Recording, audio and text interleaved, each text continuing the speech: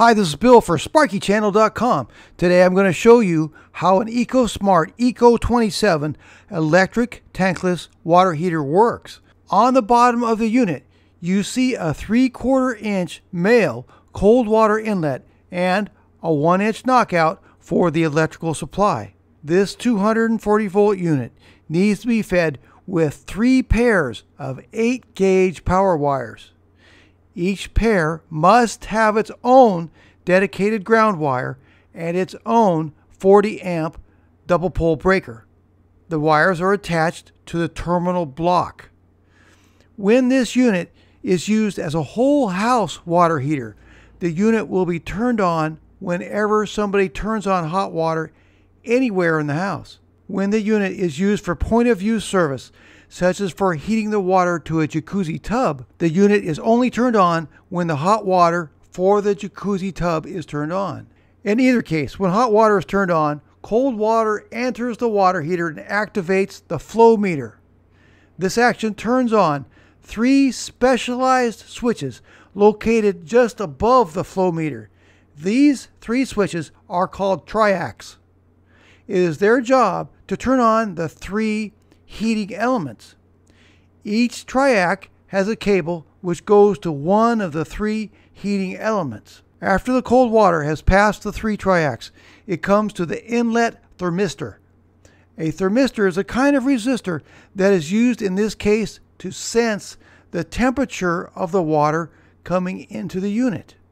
There are wires going from the inlet thermistor to the circuit board where the water temperature information is used as part of the unit's self-modulating system. In other words, if the inlet thermistor tells the circuit board that the water coming in is 37 degrees, the circuit board will modulate the unit in such a way as to efficiently process 37 degree water. If the water coming in is 67 degrees, the self-modulating system will work efficiently for that temperature of water. After the cold water passes the inlet thermistor, it now enters the three chamber heat exchanger. Each chamber has its own heating element on top. When the water enters the first chamber, it is warmed up. Then, when it enters the second chamber, it is warmed up some more. And when it enters the third chamber, it is warmed up to the temperature that you set. Each of the chambers has its own thermostat, which help to regulate the heating elements. Just before the heated water is discharged into the house, it passes an outlet thermistor. This outlet thermistor takes the temperature of the water to make sure that the water is within one degree of the desired temperature. Now the hot water exits the unit through a 3 quarter inch male fitting. The advantage to this kind of system is that it is a very compact system and it is an on demand system as opposed to a tank system that must keep water warm at all times. I'll put a link in my video description for the EcoSmart Eco 27 electric tankless water heater.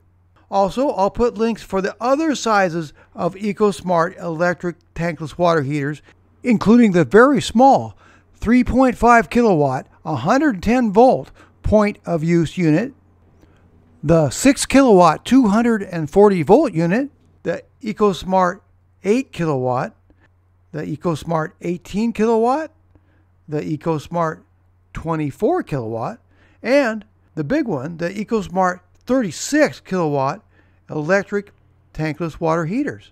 Thanks. I hope this video was helpful.